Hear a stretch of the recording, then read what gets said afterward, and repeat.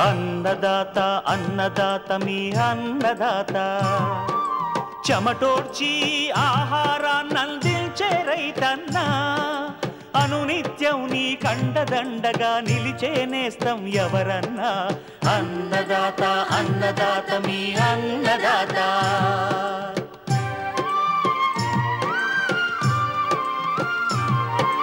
నూతన రీతుల సాగుబడికి నూరింతలు పెరిగే దిగుబడికి సూచనలిచ్చే సస్య రక్షణకు పశు పోషణకి శాస్త్ర విజ్ఞానం అందించి ముందుకు నడిపే తెలుగు రైతు భారతదేశానికి మకుటం అయ్యేలా తీర్చిదిద్దే ఆశయంతో మిమ్ము మేలు కొలిపేది అన్నదాత.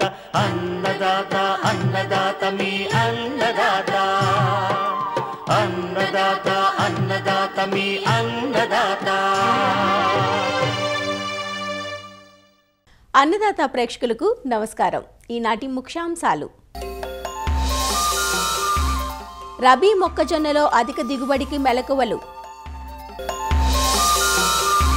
ప్రతి దిగుబడులను తగ్గిస్తున్న వడలు తెగులు తలమాడు గులాబీ రంగు పురుగు నివారణ చర్యలు. మామిడిలో తేనె మంచు పురుగు నివారణకు చర్యలు. ఇంకా జై కిసాన్ వ్యవసాయ సమాచారం.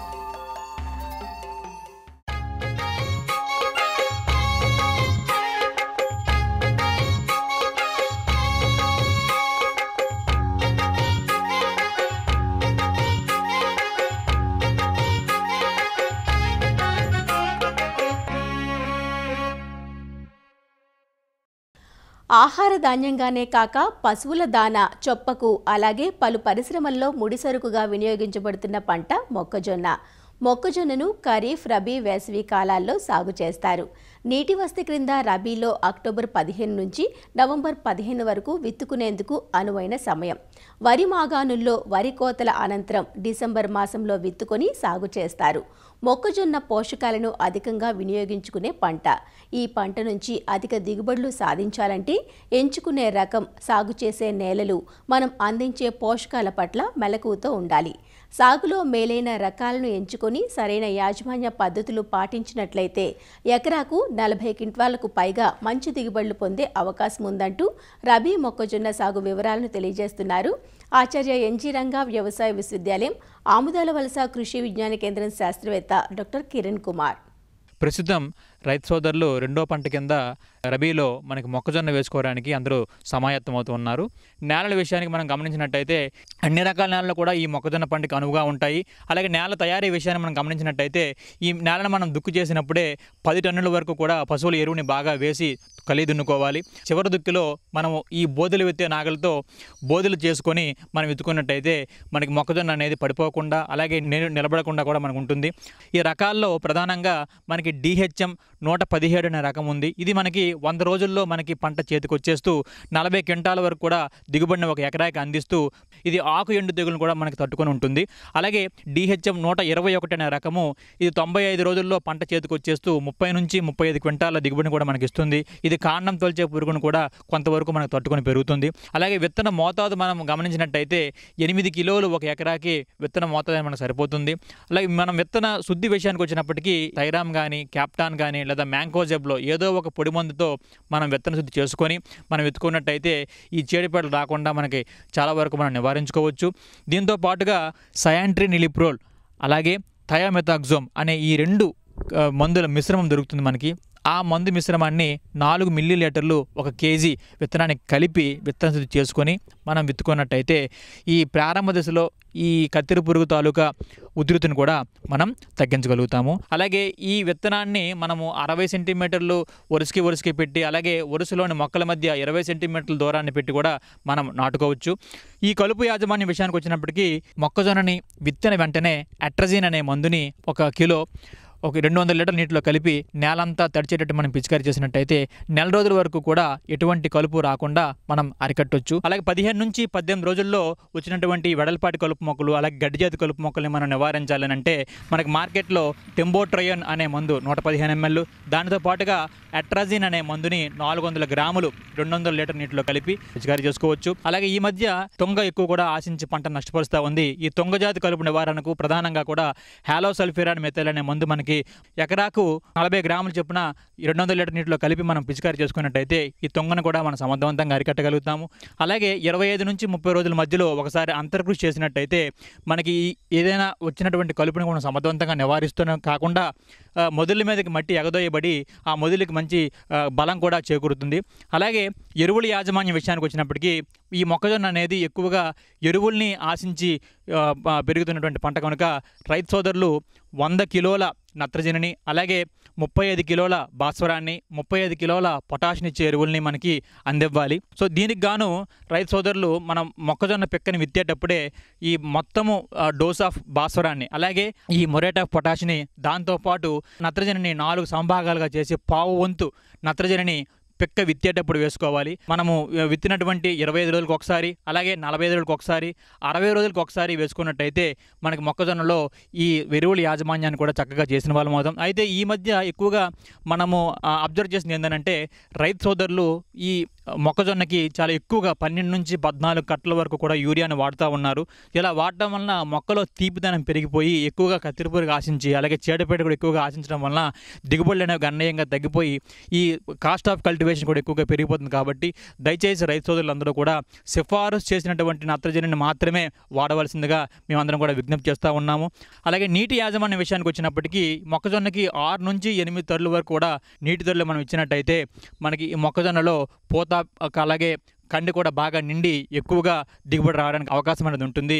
అలాగే సస్యరక్షణ విషయానికి వచ్చినప్పటికీ దీంట్లో ప్రధానంగా ఈ కాండం తోల్చే పురుగు కత్తెర పురుగు అనేది ఎక్కువగా రబీ పంట కాలంలో మనకి ఆశించి నష్టపరుస్తూ ఉంటుంది. గులాబీ రంగు కాండం తోల్చే పురుగు అనేది ఆకుల మీద ఆశించి పత్రహారితాన్ని గోకి తినడం వల్ల ఏమవుతుందంటే మనకి గుండు సూదితో పెట్టినటువంటి కన్నాల మాదిరిగా షార్ట్ హోల్స్ అనేవి పడతాయి. ఆ తర్వాత ఈ పురుగుల తాలూకు ఉధృతి పెరుగుతున్నప్పుడు ఈ మొక్క తాలూకు మువ్వులో కూడా ప్రవేశించి ఆ మువ్వును కూడా తినేయడం జరుగుతుంది. అలా మువ్వును తినేయడం వలన మువ్వన చనిపోతుంది. దీన్ని డెడ్ హార్ట్ అని అంటారు. సో దీని తాలూకా నివారణకు మనము ముందు నుంచే కలుపును లేకుండా చూసుకోవడం. అలాగే ఈ ట్రైకోగ్రామా కిలోనిస్ అనే గుడ్డు పరాణ జీవిని పన్నెండు రోజులకు ఒకసారి ఇరవై రెండు రోజులకు ఒకసారి ఇరవై వేలు చెప్పున కూడా ఎకరాకి మనం విడుదల చేస్తే ఈ కాండం తొలిచే పురుగుదల గుడ్లను తినివేసి మనకి పంటను కూడా రక్షించడం కూడా జరుగుతూ ఉంటుంది. అలాగే ఈ కార్బోఫ్యూరాన్ త్రీ జీ గుళికలు అనేవి ఒక ఎకరాకి మూడు నుంచి నాలుగు కిలోల గుళికలు అనేది అవసరం అవుతాయి కాబట్టి మొక్క మువ్వుల్లో వేసినా కూడా ఈ కాండం తొలిచే పురుగుని మనం అరికట్టవచ్చు.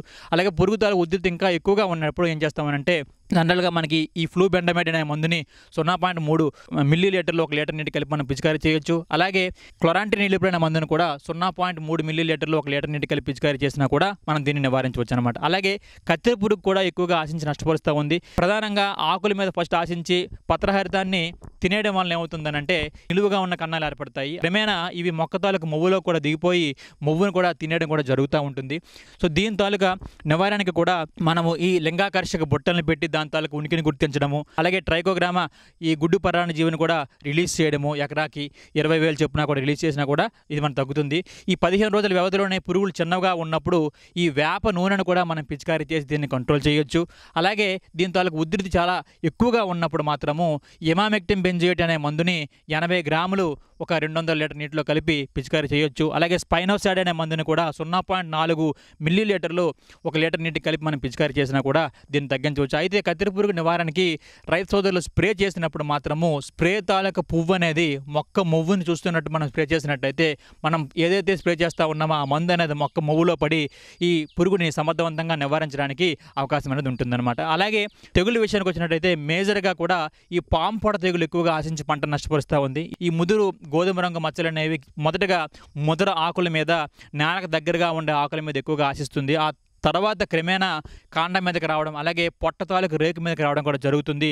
దీని తాలూకు ఉధృతి ఎక్కువైనప్పుడు మొక్క మొదలు కాడికి ఇరిగిపోయి పడిపోతుంది అనమాట సో దీన్ని నివారించడానికి కూడా హెక్సాకొనజోల్ అనే మందుని రెండు మిల్లీ లీటర్లు ఒక లీటర్ నీటి కలిపి మనం మొదలు తెచ్చేటట్టు పిచికారి చేసినా కూడా మనకు తగ్గుతుంది. మొక్కజొన్నలో యాజమాన్య పద్ధతులు పాటించినట్టయితే అధిక దిగుబడులు సాధించవచ్చు. అలాగే అధిక నిగ్రహాదాయాన్ని కూడా రైతు సోదరులు పొందవచ్చు.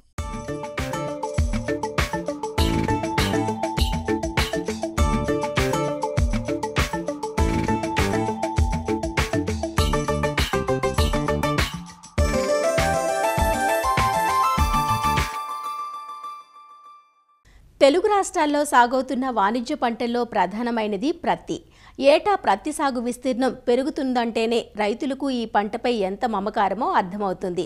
ప్రస్తుతం ప్రత్తి పైరు గూడ కాత దశలో ఉంది. ఓ ప్రక్క ఉక్కపోత మరో ప్రక్క వర్షం. మార్చి మార్చి వస్తుండటంతో ప్రత్తి పెరుగుదల ఏమంత ఆశాజనకంగా లేదు. అధిక వర్షాలకు లోనైన ప్రాంతాల్లో ప్రత్తిలో వడలు తెగులు తలమాడు అనే వైరస్ తెగుళ్ళు కనిపిస్తున్నాయి. దీనికి తోడు గత కొన్నేళ్ళుగా ప్రత్తి పంట దిగుబడులను నాణ్యతను దెబ్బతీస్తున్న గులాబీ రంగు పురుగు నష్టం అన్ని చోట్ల ఉంది. ప్రత్తి నాణ్యత దిగుబడులను కాపాడుకోవాలంటే వీటిని వెంటనే నివారించాల్సిన అవసరం ఉంది. ప్రత్తిలో వడలు తెగులు తలమాడు తెగులు గులాబీ రంగు పురుగుల లక్షణాలు చేపట్టాల్సిన నివారణ చర్యలను వివరిస్తున్నారు. ప్రొఫెసర్ జయశంకర్ తెలంగాణ రాష్ట్ర వ్యవసాయ విశ్వవిద్యాలయం నాగర్ కర్నూలు జిల్లా పాలెం కృషి విజ్ఞాన కేంద్రం శాస్త్రవేత్త ఎం రాజశేఖర్. ప్రస్తుతం వానాకాలంలో సాగు చేసినటువంటి పత్తి పంట అనేది మనకు కాయలు ఏర్పడే దశ లోపల నుంచి పత్తి తీత దశ లోపల ఉంది. ఈ దశ లోపల చాలా ప్రాంతాల లోపల పత్తి లోపల వర్టిసీలియం వడలు తెగులు తలమాడు తెగులు మరియు గులాబీ రంగు పురుగు యొక్క ఉధృతి అనేది చాలా ప్రాంతాల లోపల అత్యధికంగా గమనించడం జరిగింది. వట్టిశీలియం వడలి తెగులు చూసుకున్నట్లయితే ఈ తెగులు సోకినటువంటి మొక్కలు మనకు వడలిపోయినట్టు గమనించడం అనేది జరుగుతుంది.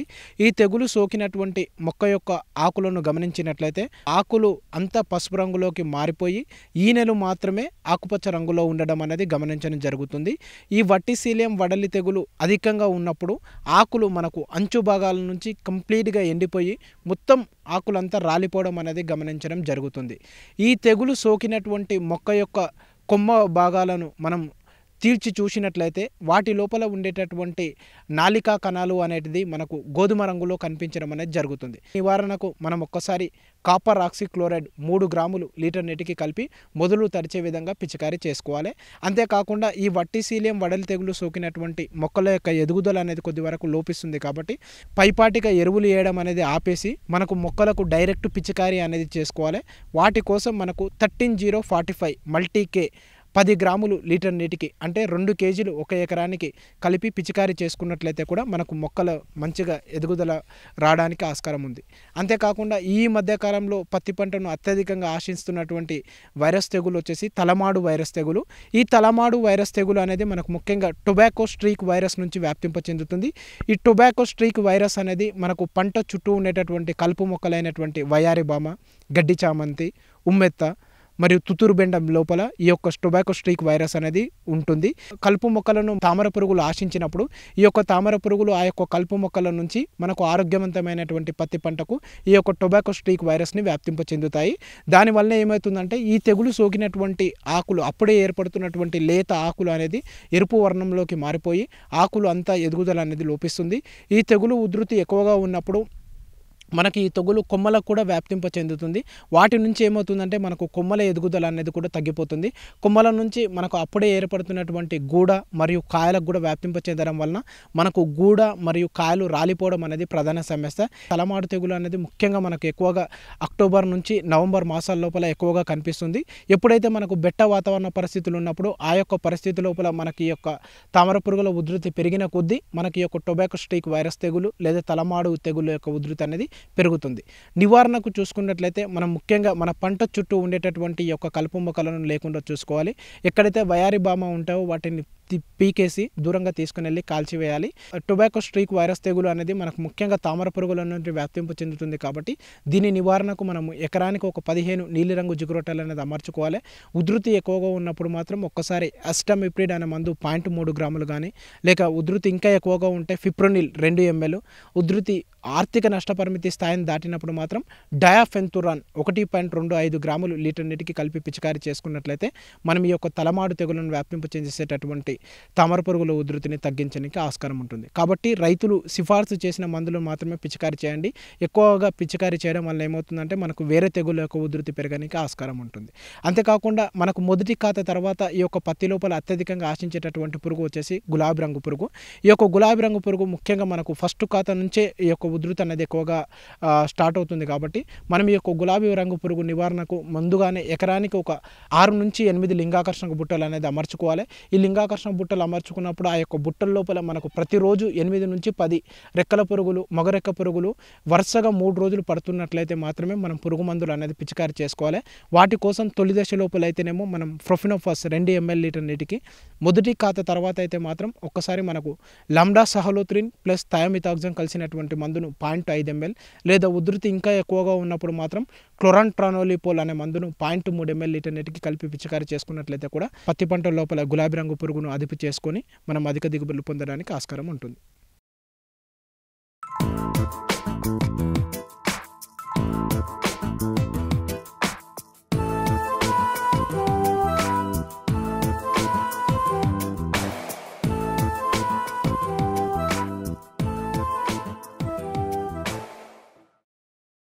మామిడి పండును ఇష్టపడిన వారు ఎవరుంటారు చెప్పండి?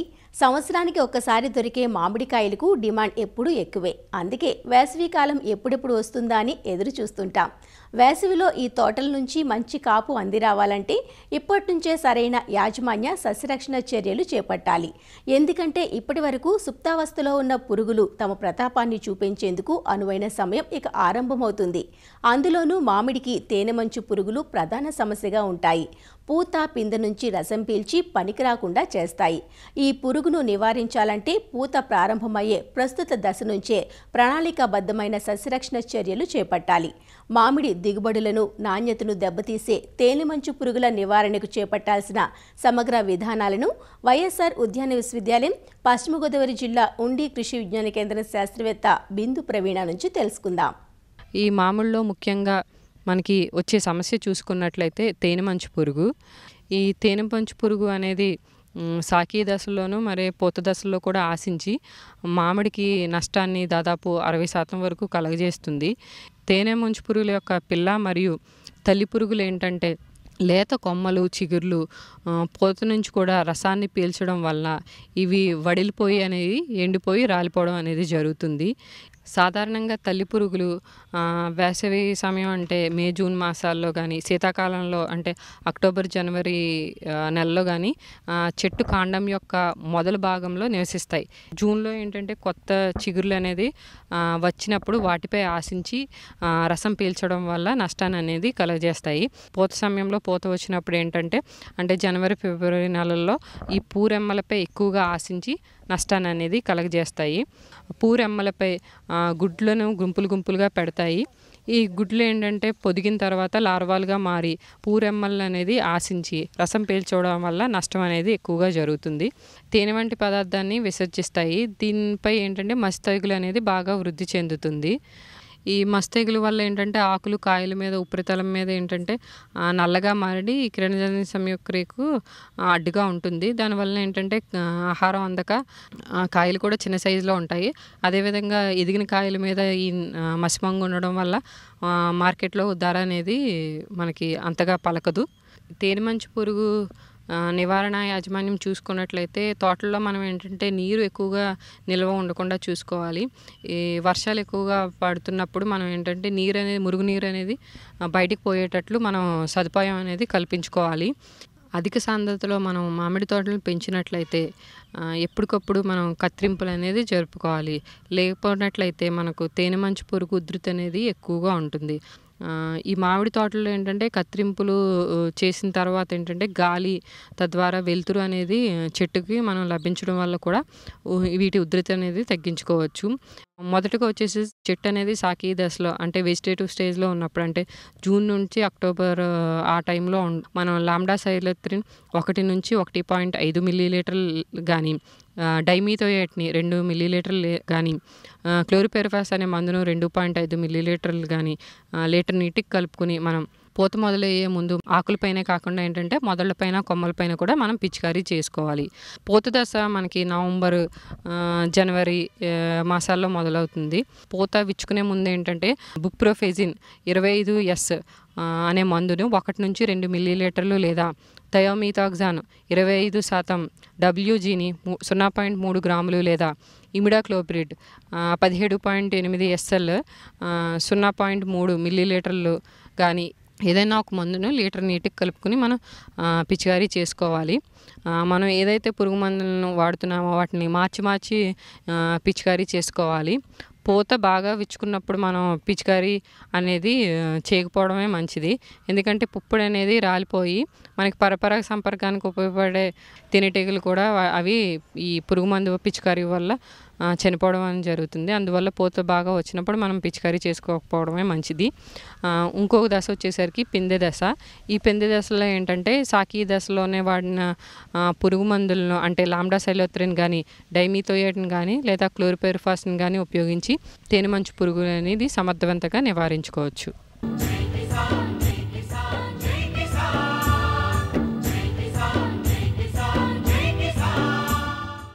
వ్యవసాయ సమాచారం ఇప్పుడు జై కిసాన్లో చూద్దాం. ఎగువన కురిసిన వర్షాలు శ్రీశైలం నంద్యాల ప్రాంతాల నుంచి వచ్చిన వరద నీటితో నెల్లూరు జిల్లాలోని ప్రాజెక్టులు జలకళ సంతరించుకున్నాయి. ముఖ్యంగా సోమశిల కండలేరు జలాశయాల్లో నీరు సమృద్ధిగా చేరడంతో రబీ సాగునీటి విడుదలపై అధికారులు ప్రణాళికలు వేస్తున్నారు. సోమశిల జలాశయం కింద ఐదు లక్షల యాభై వేల ఎకరాలు కండలేరు జలాశయం పరిధిలో మూడు లక్షల ఎకరాలకు సాగునీరు ఇవ్వనున్నట్లు వివరించారు. ఈ నెలాఖరుకి సాగునీటి సలహా మండలి సమావేశం నిర్వహించి నవంబర్ ఒకటవ తేదీ నుంచి నీటి విడుదల చేస్తామని చెబుతున్నారు. ఈ ఏడాది ఈ రబీ సీజన్కి నీటి సమస్య ఉండబోదని వివరిస్తున్నారు. సోమశిల జలాశయం నందు యాభై ఆరు టీఎంసీలు వాటర్ ఉంది. అదేవిధంగా కండ్లేరు జలాశయంలో కూడా ముప్పై ఐదు టీఎంసీలు నిల్వ ఉంది.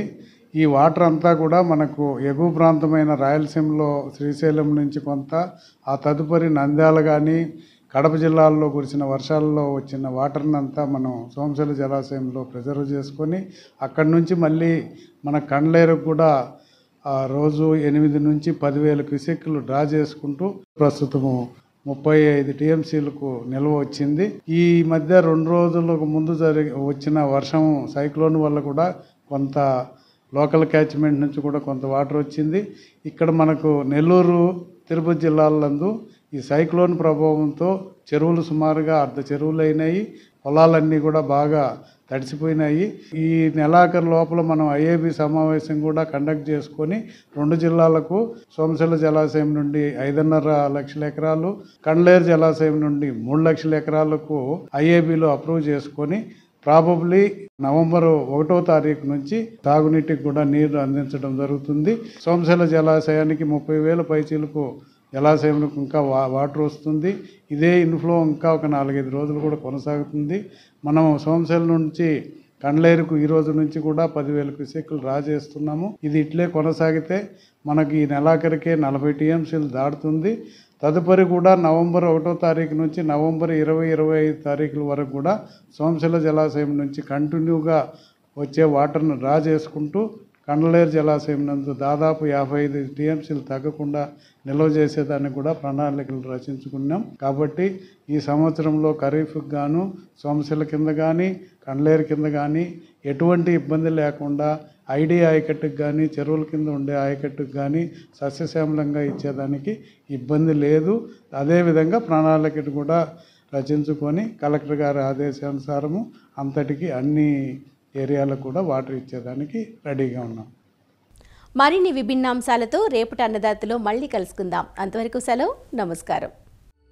అన్నదాతలు తమ సందేహాలు సమస్యలను ఒకటి ఎనిమిది సున్నా సున్నా నాలుగు రెండు ఐదు నాలుగు సున్నా ఎనిమిది ఐదు టోల్ ఫ్రీ నంబర్లో ఉదయం పది నుంచి పదకొండు గంటల మధ్య పని దినాలలో సంప్రదించగలరు.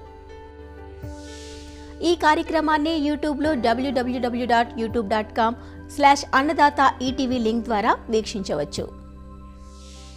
అన్నదాత కథనాలు ఈటీవీ విన్ మొబైల్ యాప్లోనూ వీక్షించండి.